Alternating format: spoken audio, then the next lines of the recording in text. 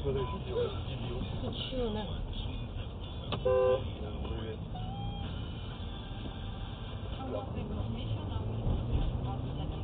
Охренеть! Ёбнутый просто. Вот.